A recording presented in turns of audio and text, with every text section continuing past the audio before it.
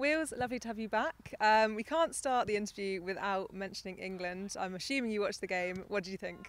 Oh yeah, loved it, loved it. It was a bit nervier last night. I was quite relaxed against Ukraine, obviously, but yeah, last night was a bit nervier. But I, yeah, I just I love love watching England. It's the best thing. Any players that particularly stood out to you? Oh, Sterling obviously is, was was brilliant. Like to you know, the 120th minute was still beating players, which was pretty pretty amazing. Um, Maguire's been been solid as well since he's he's come back in. So. And looking forward to the final, what are, you th- what are your thoughts? Any predictions?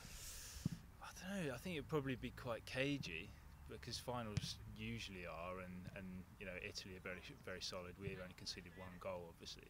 Um, I hope not. I hope it's just a mad like four-three game or something. But um, yeah, probably going to be quite cagey. I just hope we nick. Yeah, fingers crossed. And um, now think about Wycombe, back to pre-season. Obviously, how good does it feel to be back? Yeah, it's great. It's great. It's so nice, like being being back with the lads and, and you know enjoying training and stuff. So yeah, just just to be part of the group. I've, I've missed it over the summer. So yeah, it's, it's really nice to be back.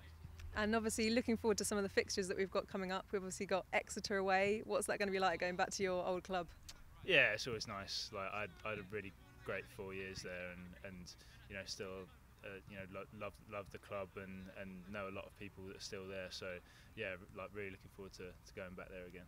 And uh, just thinking about that Rotherham game last season and your celebration, um, have you got a new one lined up maybe for this season?